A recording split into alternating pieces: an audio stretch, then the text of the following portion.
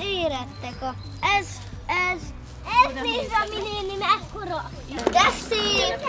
A pályázatunk mottója az elajándékozzuk magunkat, kötőjel magunkat, ami számunkra azért fontos, mert Szeretnénk, hogy a városban olyan közösségeket tudjunk kialakítani, akikkel számíthatunk egymásra, amikor az első haszonnövényeink beértek és termést hoztak, akkor bevontuk természetesen a gyerekeket is. Mindennek a sok élménynek az örömét szeretnénk külső partnerek felé is közvetíteni, amikor mi már a saját magunk termelte vagy termesztette kis növénykéknek az egy-egy példányát továbbadjuk a környezetünkben.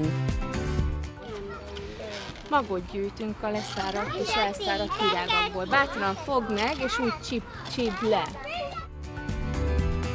A mögöttünk látható épület egy alkotóházá lesz alakítva, ahol a szülőkkel, illetve idősek bevonásával szeretnénk olyan alkotói délutánokat létrehozni, ahol együtt alkotunk. Kiszárítjuk, és jövőre újra elültetjük. És ajándékozunk is belőle.